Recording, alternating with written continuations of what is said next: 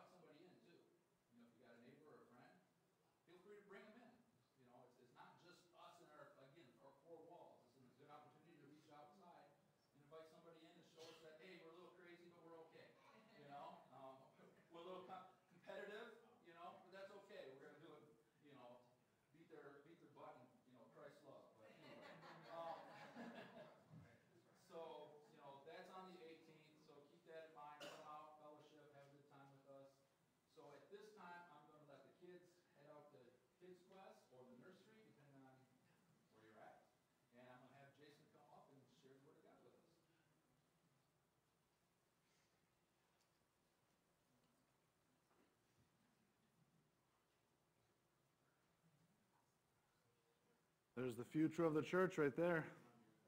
Amen. Thank you, teachers, for doing such a good job, a good job with the children.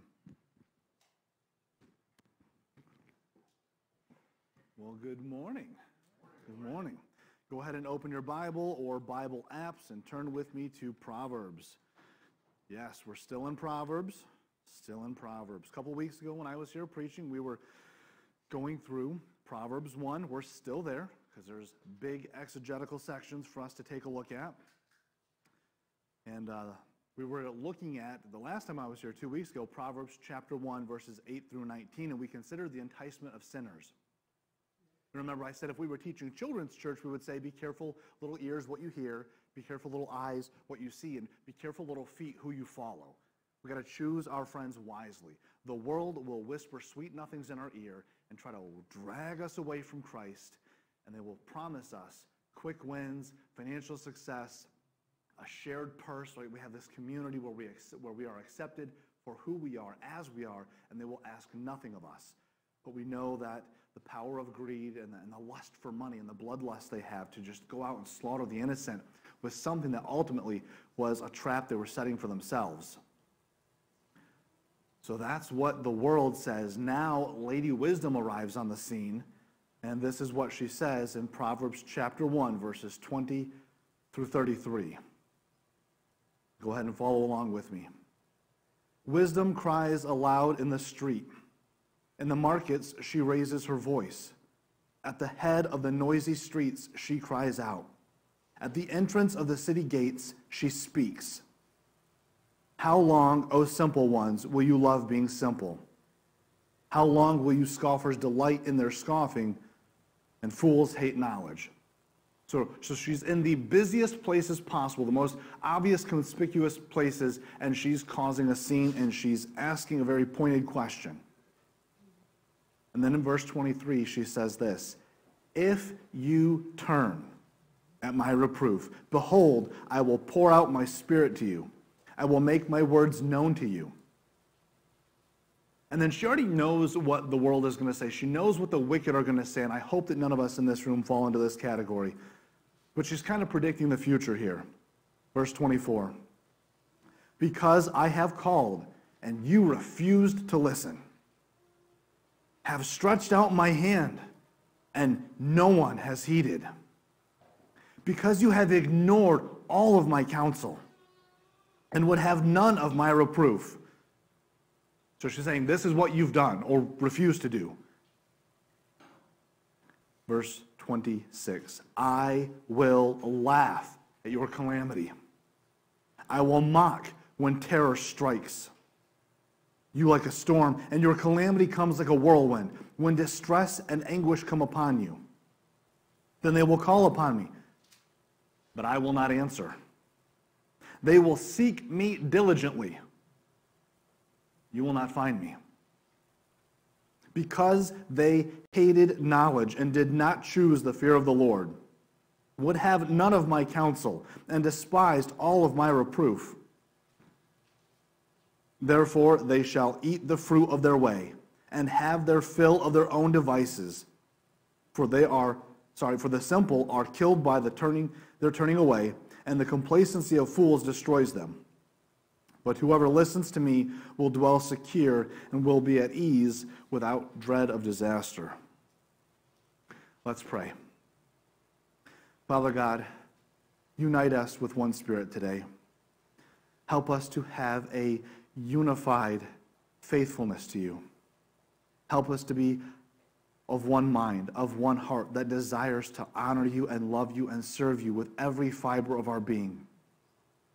Father, help us to heed and listen to and pay careful attention not to leave Lady Wisdom's path. Lord, help us to learn from her warnings. And I pray, Lord, that we would be wise because you have blessed us. And I pray that the flesh would not win. We ask this in Jesus' name. Amen. A couple of weeks ago, everyone's cell phone went off at the same time, 2:18 p.m. if you're in my neck of the woods. And even though we were warned that there's no national emergency, there's no real threat or danger, and you heard about it from social media, from your friends, your family, even your grandma knew that there was a time on a specific day when your phone was going to go off, so just be, be careful that you know that there's no danger. We were still surprised. Some people were still surprised. Some people didn't have their phones muted. They were on the conference call and everybody's phone went nuts. They were driving and they got startled. Some people found phones they thought they had lost. And from what I heard, some people in the Amish Mennonite community were found out.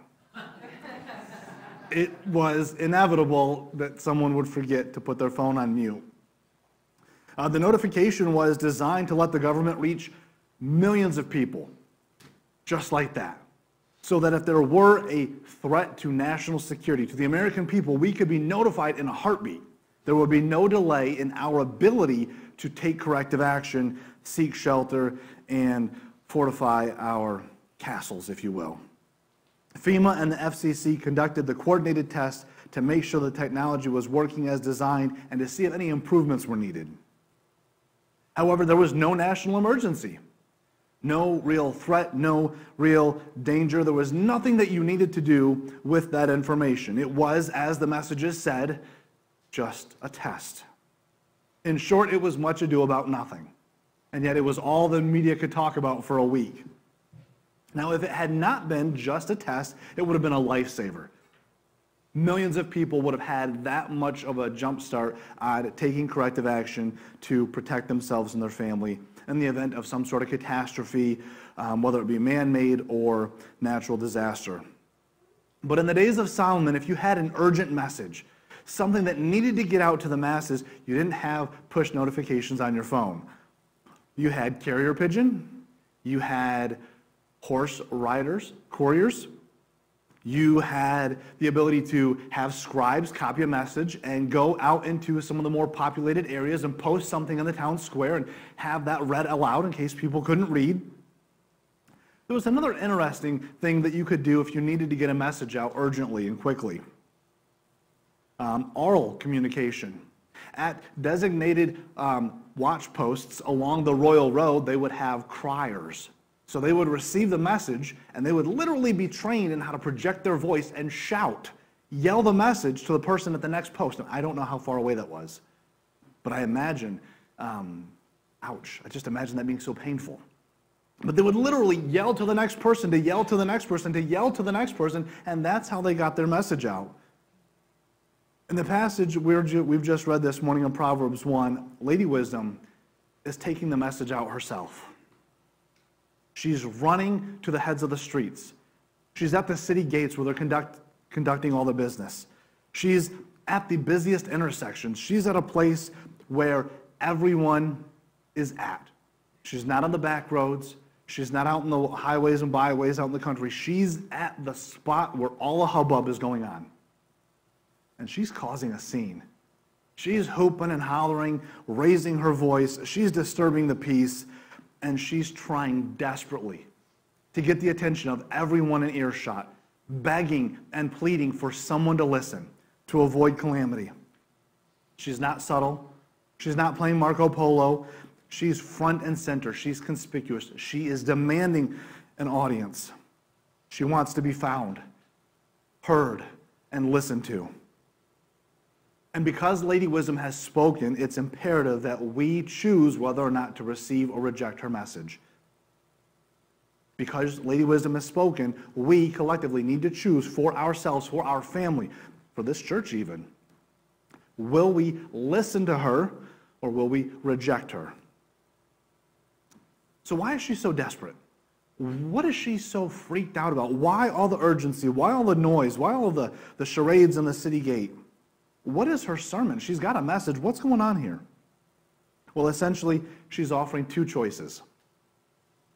You're going to see that time and again in Proverbs. There's, there's this path and there's the other path. And God is demanding that we make a choice. On one hand, you could accept her reproof, accept her correction, and learn, or you can reject her and suffer the consequences. She cries, How long will you keep acting like a fool? How long will the scoffers enjoy scoffing? How long will the naive or the simple remain simple and naive? She would rather that we repent and reform to her way of thinking, the wise path that she has from God, as opposed to just continuing in our directed course of action that we've chosen for ourselves and suffering all of the consequences. But she's gracious and, and she's going to give the choice. So, option one, verses 24 all the way through 32, a large section is given to option one ignore and reject Lady Wisdom. So, in Act one of this passage, Lady Wisdom is rejected and ignored, and, and she called, but they refused to listen. She offered a helping hand, and no one would have it. Her lungs were filled with a passionate voice, a booming voice. She's got cries of urgency. She's begging and pleading. She's being dramatic. She wants you to follow her. Like, come with me if you want to live, sort of deal. Follow me. I have truth from on high. I will save you. Follow me and avoid death and destruction and calamity. And her words were met with deafening silence. The people were naive and content to remain ignorant. Why? Well, Solomon tells us they hated, they despised knowledge and wisdom. And so they just chose to let her words pass right on by. How many times do we read something in Scripture and we know we probably ought to listen to it, we probably ought to change something, but it's too inconvenient? Or we think it's asking too much of us? It's like, nah, I'm going to pick and choose what I want to obey. See, that's foolish. The fool ignored correction, which we learned a couple weeks ago. We need the correction to help bend our spirit to follow God. We need to yield and listen. We need to assume a humble posture so that we can receive correction, so that we can continue gaining wisdom. But because these people rejected and ignored her, they're unable to receive the benefits of Lady Wisdom's insight. And so she warns them about what's in store. If you follow this course of action, if you stay on this path, and again, path is a very interesting way of thinking about things, right? Because it's not, it's not a muddy path like we have out here, and it's certainly not the path that's paved and, and, and easy. It, it's more like wagon wheels that have carved a rut. Some of you know what I'm talking about. Maybe you've seen that in a movie. Maybe you've gone hunting and up north and there's just a little two track somewhere. Tall grass in the middle, but then you got the, the ruts where the wagon wheels would go, or your four wheel or your side by side would go. And the interesting thing about that is with the ground being so malleable, so saturated with all of the groundwater and all of the rain, the weight of the carts or the carriage or your four wheeler in the modern parlance, the weight would sink down where those tires were and they would have ruts carved into the land. You can't go left or right very easily. You're stuck. You're in the ruts. That's why we say living in a rut. And so you're on this path and you're not going to veer one way or the other. You're in the saddle. And that's what she's warning about. If you continue this course of action, if you continue on this path, there's major consequences to face. And so she knows here's what's going to happen. And so then in Act 2, she tells us how she's going to react if we continue our own course. Her reaction is full of sarcasm. I don't know if you see that here, but it's there, it's palpable. She says, I'm going to laugh at you. I'm going to laugh. Now, it's, it's not a cruel laughter. She's not laughing at their misery and misfortune. It's easy to see it that way because that's probably what we would do if somebody we tried to warn didn't listen. But rather, Lady Wisdom's laughter is the celebration of God's victory, the celebration of wrong things being righted, the ship being corrected. She's celebrating that God has won. It's, it's also kind of like mockery of, of the winning army making fun of the losers in battle. It's like, hey, you were the bad guys that threatened us and you didn't know what you were getting into, and now we've won, and now we're going to make fun of you because you're so pathetic. Like, we have won the victory. It's that kind of celebration and mockery. But, but what exactly is she going to laugh at? Well, she's laughing at calamity that's going to come like a whirlwind. This, this idea of calamity is like a burdensome load. Imagine, imagine a donkey or some, some farm animal under the weight and stress of something that's so oppressive, something that is a heavy, heavy load, under which you run the risk of being crushed by it. You see, the wicked, they build up for themselves these massive houses, or they build up this world that works for them, that requires no sacrifice, just living their best life now. It's all about me, me, me, and how can I get the most pleasure out of this life? And it all comes crashing down on them and it crushes them. A whirlwind is like a hurricane. Think of Katrina in 05, Sandy in 12, Maria in 17, Ian in 22, all costing hundreds and hundreds, if not thousands of lives. One moment, everything is fine. It's calm. You wake up, you make the coffee, you go to work, you come home and have dinner, spend some time with the family, go to bed and you wash, rinse, repeat. Everything's just normal. It's plain Jane, mundane life. And in the blink of an eye, your world is gone. Your loved ones are gone. Your house is gone. The hurricanes come in and it's gone. It's destroyed. Speaking of things that are just coming in a flash of a pan, terror. Lady Wisdom says she's going to laugh because there will be terror that strikes like a storm. And both the words translated terror and the additional context of striking like a storm allow us to see the sudden and intense consequences of rejecting wisdom. Yes, there are some very obvious consequences to rejecting wisdom. Even your lost friends and family will know that certain rejections of wisdom will bring them bad things. Like if you never exercise and never eat any vegetables, you're probably going to have poor health. Some people can at least figure that much out. But there's a lot of other stuff that they can't possibly comprehend because it comes out of nowhere. No 10 day forecast in Israel, no push notifications on their phone, no tornado sirens. Yes, they had wise people who could understand seasons and weather patterns, and you can look at the sky and kind of get a sense that um, today is going to be beautiful in a different way, right? It's going to be diff- uh, beautiful in a different way. But in Palestine, and especially near the water. Storms had a tendency of popping up out of nowhere, and they would be hellacious. They would be violent. They would ruin small villages. And those who refuse to listen to God, who bristle at divine authority in their life, they must walk through life while constantly looking over their shoulder, sleeping with one eye open because they don't know when it's going to strike. She's warning, it's coming. Don't listen to me. This is coming for you. And the key part is, you don't know when it's going to strike. I know this is spooky season, but this is the kind of spooky I want no part of. I don't want this. That, that tension you must live with to realize I have consequences to pay for my inability or my, my refusal of following Lady Wisdom, and it's going to strike when I least expect it. Lady Wisdom said she's going to laugh at their distress, at their anguish.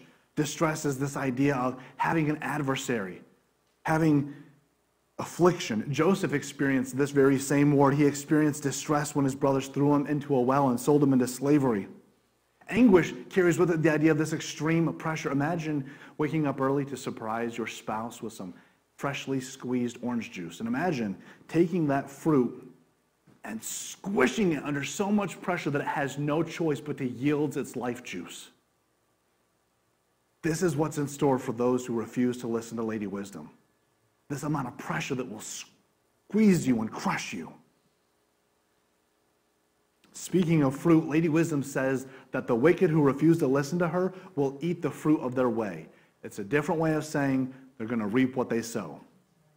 What goes around comes around. So, in the first part of chapter one, we heard about Solomon talking about how these guys, these wicked men and women, are setting a trap for themselves. They think it's a trap for somebody else, but it's really going to bring their own, down, their own downfall. They're going to kill themselves, essentially. It's going to bring their own death.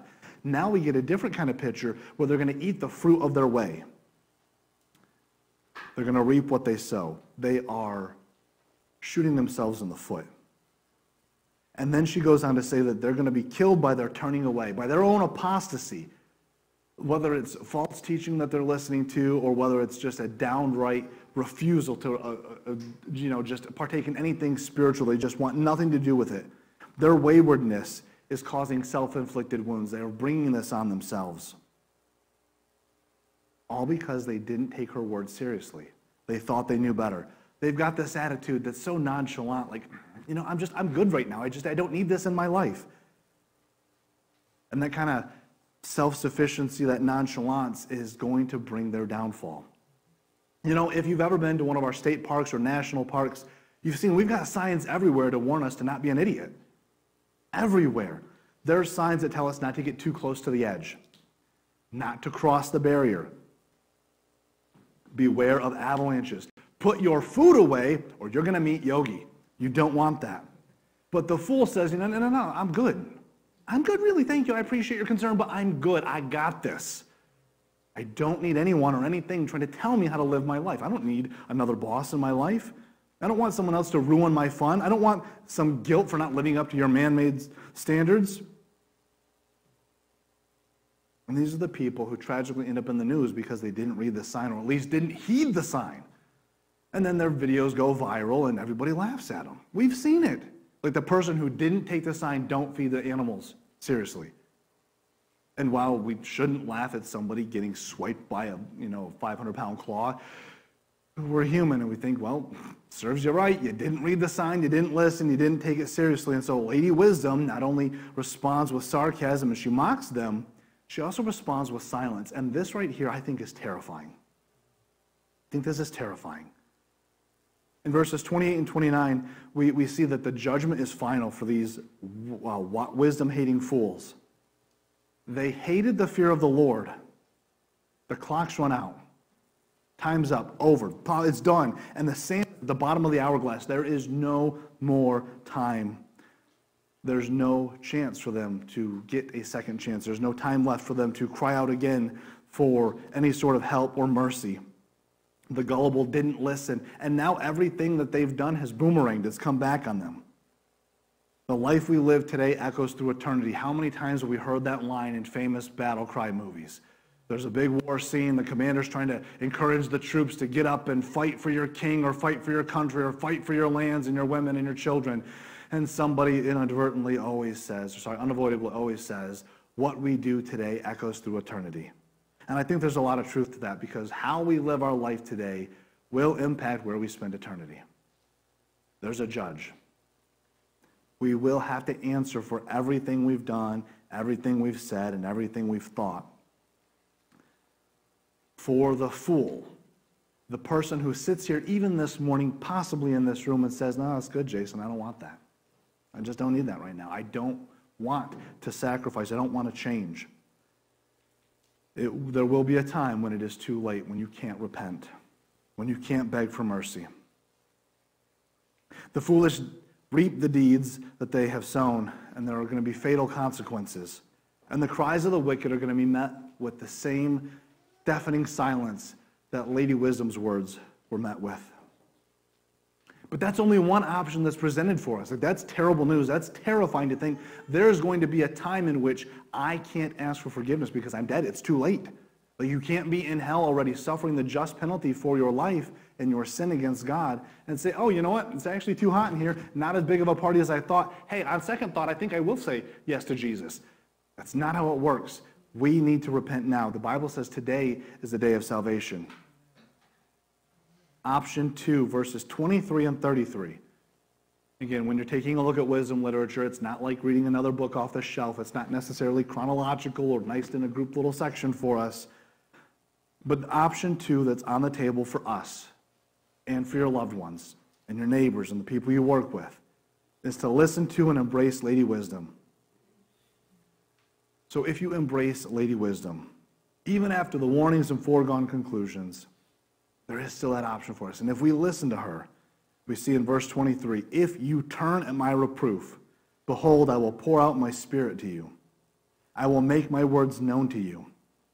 Verse 33 But whoever listens to me will dwell secure and will be at ease without dread of disaster. Now, please don't misunderstand me. The Bible never says follow Jesus and life will be a bed of roses. The Bible never says get saved and go to church and read your Bible and you're going to be healthy, wealthy, and wise and you'll have all the money and everything you ever wanted and no one's ever going to make fun of you. In fact, it promises the opposite. Jesus says, follow me, but he also says, pick up your cross. He says, the world hated me. It's going to hate you too. It hated him, it'll hate us. The world rejected him, the world will reject us. Jesus suffered persecution, and it should be our joy to suffer persecution for his sake. None of these things are fun. None of these things are quite enjoyable, really. We're being honest. I don't want to sign up for those things. I mean, I did, and I will gladly do it by the power of God's Spirit to let me get through those things. Not exactly what everyone says when they get saved. Oh, I can't wait to suffer. I can't wait to be made fun of. I can't wait to be the black sheep of the family. I can't wait to not get that career advancement because somebody knows what I do on Sundays, or they know my views on this hot button issue. But Jesus says it'll be worth it.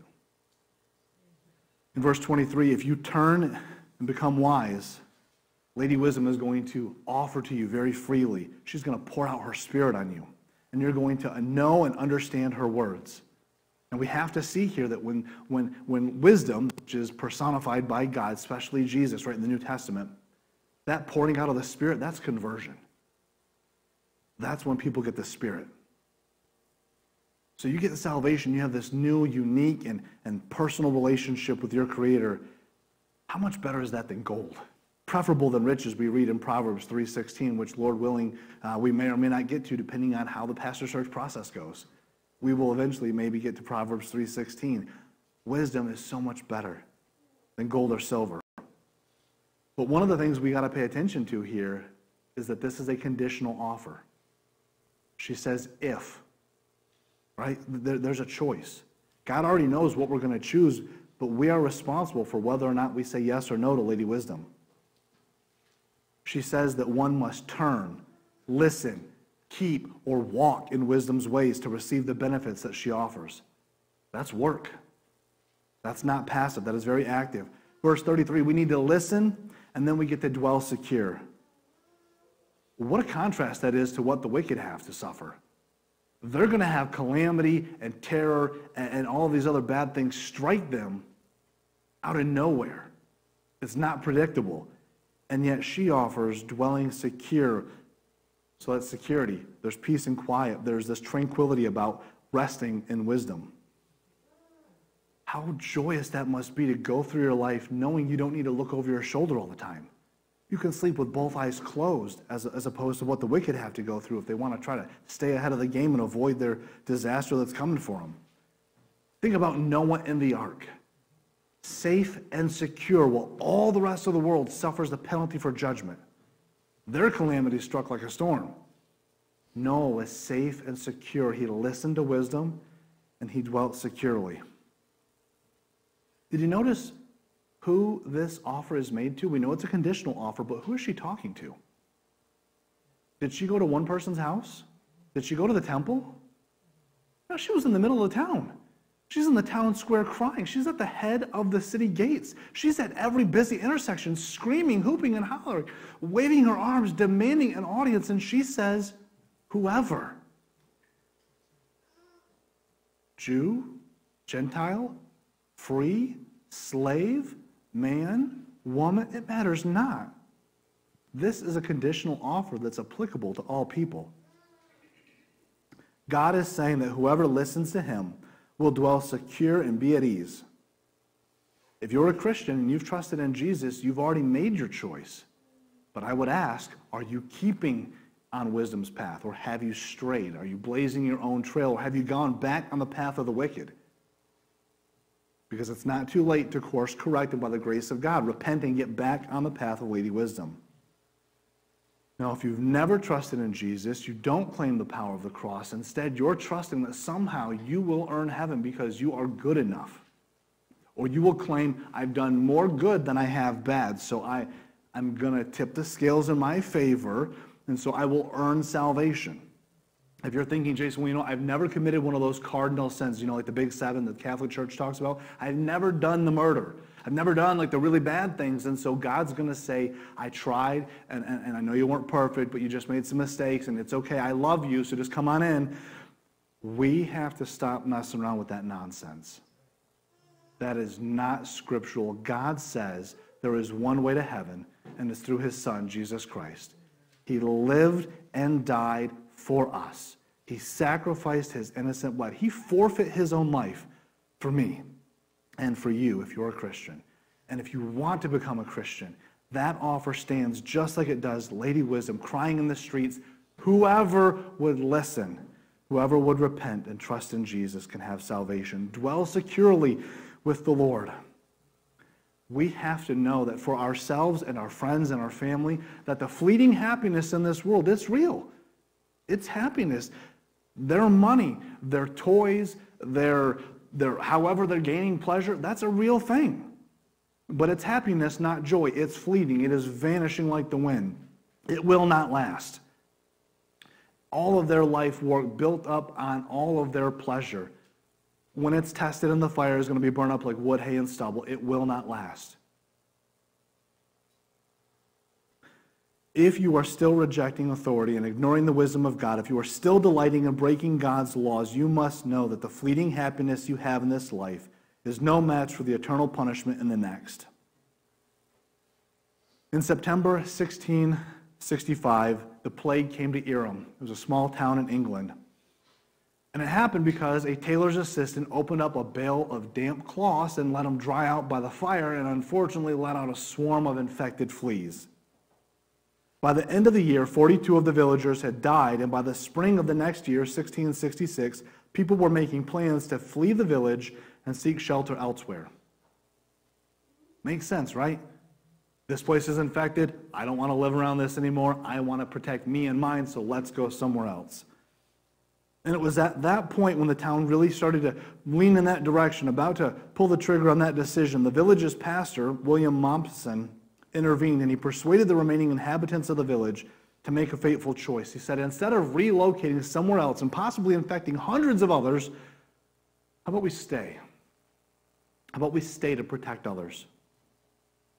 How about we stay and we self isolate? We quarantine the entire village from the rest of England to avoid spreading the plague to others. In one letter, this pastor wrote this Dear sir, let your dying chaplain recommend this truth to you and your family that no happiness, nor solid comfort can be found in this vale of tears like living a pious life. And pray ever to retain this rule never to do anything upon which you dare not first ask God for his blessings upon the success thereof. He's essentially saying, don't do anything hastily, thinking that because it's going to bring you happiness or joy or bring you solid comfort, don't jump and go for that just because it brings you happiness and good things without first asking God for his blessing to make this endeavor successful. The pastor wanted to preserve the life of hundreds, if not thousands, of others, and instead, let's just keep this here. Over the course of the next 14 months, the plague raged on, exacting a horrifying death toll among them. According to one account, only 83 ended up surviving out of an original 350 who remained in that village. But their decision to remain and risk death together saved the lives of countless others to whom they might otherwise have spread the plague. Wisdom says one thing and the world says another. The world says, Save me and mine, give me ultimate joy and happiness, give me all of the good stuff now. And Lady Wisdom says, Follow me. She's not promising a life that is free from any sort of uncomfortableness, any, any sort of messiness, any sort of death or sickness. In fact, like I said, the New Testament promises us we will suffer, we will be persecuted against, we will have trials in our life, but it'll be worth it. But wisdom says you can rest securely. Eternal security is only in the Lord. Obeying wisdom is not without risk, not without effort, not without hardship, but neither is it without its reward. Obeying wisdom earns us the graceful garland for our head and the, and the wonderful pendants around our neck. This is a sign of victory, like we heard about a couple weeks ago. This is our opportunity to glory in the Lord, showing the valor of wisdom. Obeying wisdom may even lead to the salvation of others. I mean, let's face it, who in here would be a Christian if somebody else didn't obey and go out and make disciples? I can't tell you how many times the people who canvassed the trailer park I grew up in in my teen years and knocked on all the doors, can't tell you where I'd be if those people didn't come to my house every week knowing that I was going to make fun of them. I can't tell you where I would be if the one guy who, even after I kind of toyed with the idea of church, continually tried to get me to think more seriously about what the Bible said and what that meant for my soul and eternal salvation. How many times I laughed in his face and called him some not so nice names. I can't tell you where I'd be if somebody else didn't suffer for the sake of wisdom, obeying the Lord. No matter what befalls us in this life, whether it's the plague like the one pastor in England or the loss of property and loved ones like Job, we can know that our eternal security is fully vested. It is secured by Christ, and we can live contently following in the wisdom of God. And the wisdom of God is Jesus, personified in the New Testament. So, brothers and sisters, I ask you, what's it going to be this morning? Now, the obvious knee jerk reaction is, of course, Pastor Jason, I'm in church. Of course, the answer is, I'm going to say yes to Lady Wisdom. But, like, really, are you going to? Are you going to say yes after you leave the church this morning? Are you going to say yes to wisdom when it gets hard? When you have to lose some money to say yes? When you have to open up your home to someone you might not want to, are you going to say yes to wisdom? Are you going to follow God's will, will and, and call on life? What about when the new pastor gets here and the new pastor has good ideas, but they're different than what you're accustomed to? Are you going to fight for your preferences because the church has been here for 30 years and that's the way we've always done it? I don't know who the next guy is, but are we going to fight for all of our personal preferences? Or are we going to obey the wisdom in Scripture that says we need to hold our pastors and elders in high regard, that we need to uh, allow them to be worthy of double honor, knowing that they're going to give an account for how we lived our life. They're going to give an account for how they shepherded us. What kind of relationship are you guys going to have with your next pastor? I hope you will always say yes to wisdom and not go off and get stuck in the rut of the foolish and the wicked. I praise God if you've already made the decision, if Christ has already called you to repentance and salvation. But none of us are impervious to backsliding. We've all been gung ho and on fire and totally committed and sold out in three or four different areas of our life for Jesus, for the Bible, for the church, for holiness and personal purity.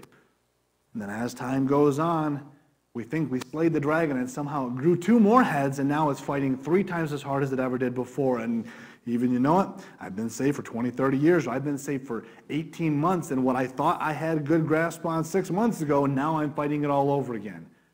We need to be vigilant and fight for wisdom. We need to fight for the truth of Scripture to, so that we can obey it.